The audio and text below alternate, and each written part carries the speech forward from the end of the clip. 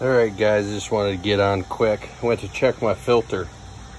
And uh, when I started my new pond, my Matsuba and my Goromo got kind of friendly in this plant right here. Yeah, you can barely see it. Again, the water's kind of mercury. My Matsuba right there and the Goromo right there got kind of friendly and there was eggs. There was eggs. I checked my filter this morning or this afternoon after work. I open it up and I find that guy right there. He was swimming around in my filter.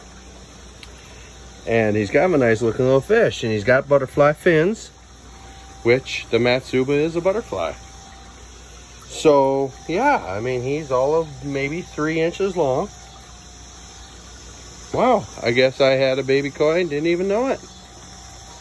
Thanks for watching, guys.